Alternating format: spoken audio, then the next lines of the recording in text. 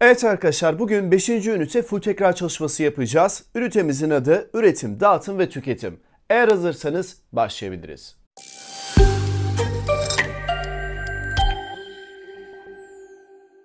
İlk konumuzun adı ise topraktan üretir, toprağa yöneliriz. Sevgili arkadaşlar, insanlar yerleşik yaşama geçmeleriyle birlikte artık tarım ile uğraşmaya başladılar. Önceden avcılık ve toplayıcılık ile uğraşan insanlar göçebe bir yaşam tarzına sahipti. Ancak tarım ile birlikte artık yerleşik yaşama geçmeye başlamışlardır. Böylece tarımsal üretime dayanan bir ekonomi oluşmaya başlamıştır. Haliyle tarımsal üretime dayanan bir ekonominin oluşması da toprağa sahip olmanın önemini bir kat arttırmıştır. Önceden toprağın değeri 3 ise artık 5 olmuş hatta 10 olmuş yani günden güne toprağın değeri artmaya başlamıştır. Ayrıca ekonomik faaliyetlerimizin birçoğunda da topraktan yararlanmaya devam ediyoruz. Örneğin tarım, hayvancılık, ormancılık, endüstri gibi sektörlerde toprak ile ilişkilidir. Mesela inşaat sektöründe kullanılan tuğla, kiremit, porselen, fayans, cam bunların hepsinin ham maddesi topraktır. Bu durumda toprağın yapısı, verimliliği bu sektörün gelişmesine katkı sağlar. Toprağın ekonomik önemi ise gün geçtikçe artmaya devam etmekte. Toprak, tarım ve sanayinin artık vazgeçilmez bir unsuru haline gelmiştir. İkinci konumuz ise ilk ve orta çağlarda toprak sistemi. Öncelikle Hititlerdeki toprak sisteminden biraz bahsetmek istiyorum. Hititlerde toprağın asıl sahibi kraldı. Kral bu toprakların işletme haklarını bir takım kişilere verebilirdi. Örneğin komutanlara. Diyelim ki burası Hitit toprağı. Merkezde bir tane kral var. Tüm bu topraklar krala ait. Kral bu toprakların bir kısmını çeşitli komutanlarına verebiliyordu. Diyelim ki bunu A komutanına verdi. Ancak toprağın asıl sahibi yine kral. İstediği zaman bu toprakları tekrardan ondan geri alma hakkına sahip. Bu kişiler elde ettikleri karlar ile yani bu topraktan kazandıkları gelirler ile at arabalarını masraflarını ödeyecekler ve asker besleyecekler. Yani kral boşuna bu toprağı vermemiş ona. Komutana veriyor. Komutan bu topraklarda elde ettiği gelirler ile birlikte at arabalarının masraflarını karşılıyor ve askerleri besliyor. Yani Hititlerin uygulamış olduğu bu sistem Selçuklularda ve Osmanlılarda uygulanan ikta ve tımar sisteminin temelini oluşturuyor. O halde yazalım. O halde şöyle bir yorum yapabiliriz. Osmanlıların kullanmış olduğu tımar sisteminin temelini Hititler atmıştır. Daha sonra Selçuklular öğreniyor. İktidar sistemini kullanıyor. Ardından Osmanlı Devleti bunu biraz daha geliştirerek tımar sistemini kurarak bunu uygulamaya devam edecek. Hititlerdeki toprak sistemi bu şekildeydi. Şimdi de biraz Friklerden bahsedelim. Friklerin en önemli geçim kaynağı tarım ve hayvancılıktı. Bu yüzden özellikle tarımı korumak amacıyla sert kanunlar çıkarmışlardır.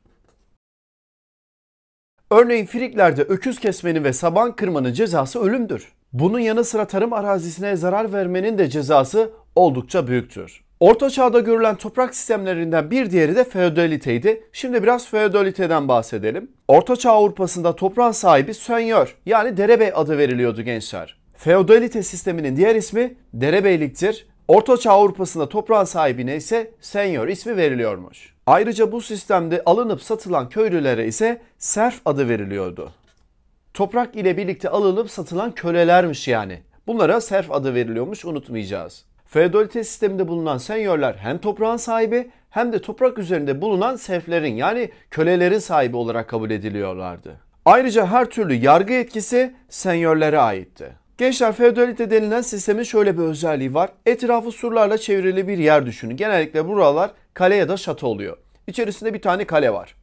Bu kale olsun. Etrafı surlarla çevrilmiş ve içerisinde bir tane yönetici var. Bu yöneticiye senyor deniliyor. Yani derebey deniliyor. Feodalite sisteminin oluşmasının sebebi ise şu. Normalde bu surların dışarısında çok tehlikeli bir ortam vardı ve insanlar can güvenliğinden endişe ediyorlardı. Ve kendilerini korumaları için senyorlara sığınacaklar. Diyecekler ki bizi surların içerisine alır mısın? Senyorlar da diyecek ki sizi surlarım içerisine alırım. Sizin can güvenliğinizi sağlarım ama bir şartla. Benim için yaşayacaksınız, benim olacaksınız ve tüm kazandıklarını benim için harcayacaksınız diyecek. E insanlar da ölmemek için tabii ki bunu kabul edecekler ve feodalite sisteminin bir parçası olacaklar. Orta çağda uygulanan toprak sistemleri ve feodalite bu şekildeydi. Evet arkadaşlar şimdi de ikta ve tımar sisteminden detaylı olarak biraz bahsedelim. İslam devletlerinde mülkiyeti devlete ait olup kullanım hakkı Müslüman halka bırakılan topraklara mihra arazi denilirdi. Yani toprağın tapusu devlete aitmiş, sadece kullanım hakkını Müslüman halka veriyorlarmış. Bu topraklara mira arazi adı veriliyormuş. Devlet ise kendisine ait olan bu toprakların bir kısmını ikta adı altında devlet görevlilerine hizmet ve maaş karşılığı olarak dağıtırdı. Diyelim ki burası bizim devletimiz olsun. Merkezde padişahımız ya da sultanımız var. Padişahı koruyacak ordu nerededir? E haliyle onun çevresindedir. O halde bu toprakların en güvenli olduğu kısım merkezdir. Padişahın bulunduğu e, başkent güvenlidir. Ve merkezden uzak olan yerler ise pek güvenli değildir. Uzak olan bölgelere taşra adı verilir. Devlet kendisine ait olan bu toprakların bir kısmını maaş ya da hizmet karşılığı olarak önemli komutanlara dağıtırdı. Diyelim ki bu komutanımız çok önemli bir iş başardı. Ona vermiş olduğu bu hizmetten ötürü bir toprak verilir. Örneğin burayı ona verdik. Artık buranın yöneticisi bu komutan. Ancak devlet bu toprağı komutana vermek ile birlikte ona bazı sorumluluklar da yüklüyor. Ona diyor ki burada düzenli olarak tarım yapacaksın. Yani düzenli olarak üretim yapılmaya başlandı artık. Artı bunun yanı sıra bu topraklarda asker yetiştireceksin. Atlı asker, tımarlı sipahi derler buna. Atlı asker yetiştirmesi gerekiyordu. Ayrıca burada yaşayan insanların vergilerini devlet adına toplayacaksın. Burada yaşayan insanların maaşlarını ödeyeceksin. Şimdi diyeceksiniz ki hocam bu kadar şeyi niye yapıyor? Bu adam enayi mi diyeceksiniz? Değil arkadaşlar. Burada çok fazla para kazanıyor. Kazandığına karşılık vermiş olduğu para bunun yanında ufak bir ücret olarak kalıyor. Şimdi diyelim ki devlet bu toprağı da başka bir komutana verdi. Burayı başkasına, burayı başkasına derken uzakta olan bütün topraklarını farklı komutanlara tımar toprağı ya da ikta toprağı olarak dağıttığını düşünelim. Şimdi düşünün. Normalde bu topraklar güvenli değildi. Merkez güvenliydi ama merkezden uzak olan yerler pek güvenli değildi.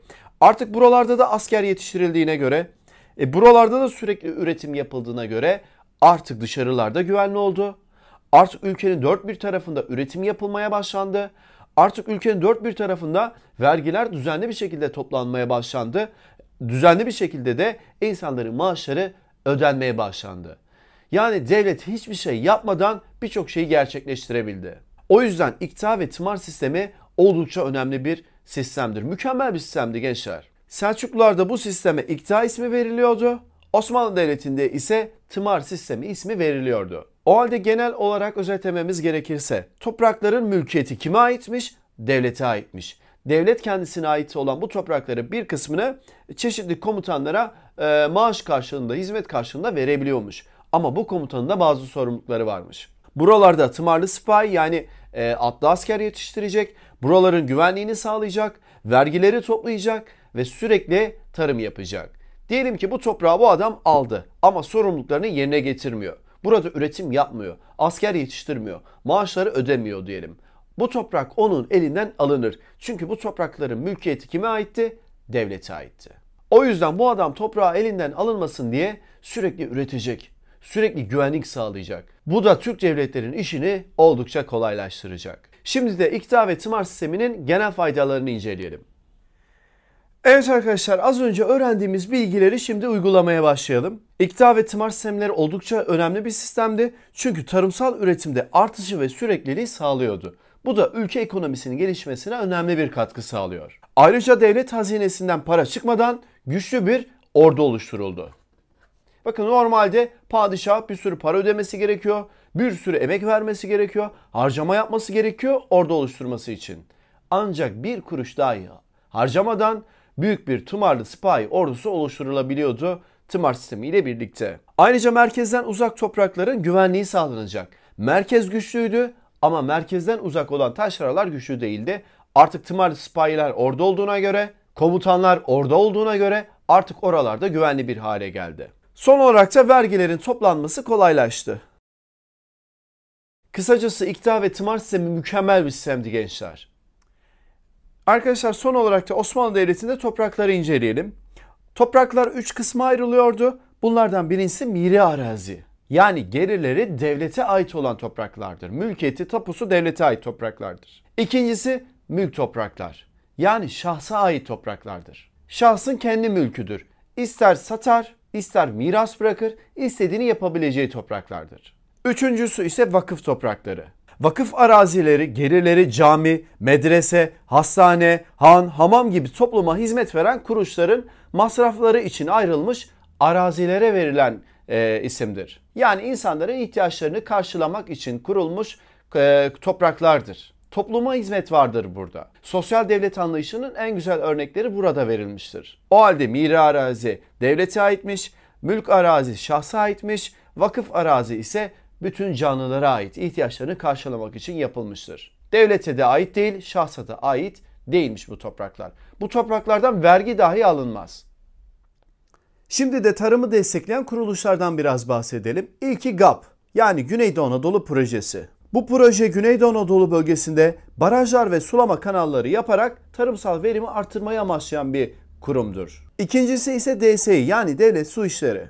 Bu kurumun amacı ise sulama kanalları ve barajları inşa ederek tarıma destek olmaktır. Üçüncü kurum ise Gıda, Tarım ve Hayvancılık Bakanlığı.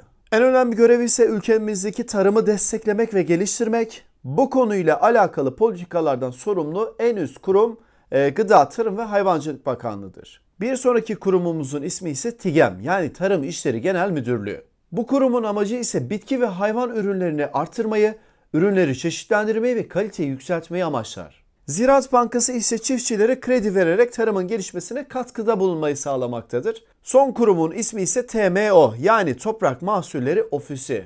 Bu kurumda diğer kurumlar gibi tarımı geliştirmek amacıyla ülkemizde önemli adım atan kuruluşlardan birisidir. Tarımı destekleyen kuruluşlar da bu şekildeydi.